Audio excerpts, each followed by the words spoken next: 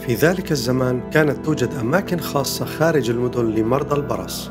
هو مرض مروع يصيب الجلد ولم يكن للمصابين به حق الاختلاط مع الأصحاء.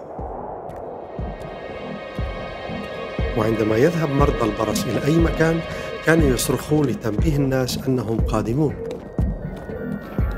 أبرص! أبرص!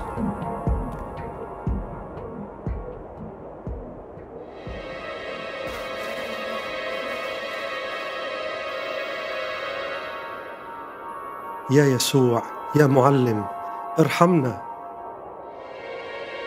اذهبوا وأروا أنفسكم للكهنة.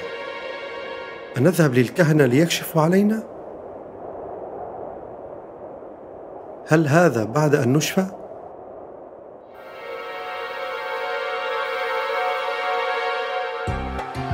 انظر أنا شفيت.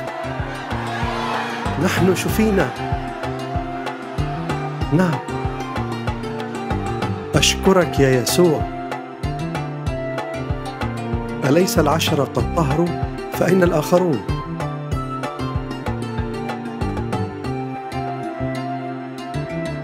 قم إيمانك لم يطهرك فقط بل أيضا خلصك.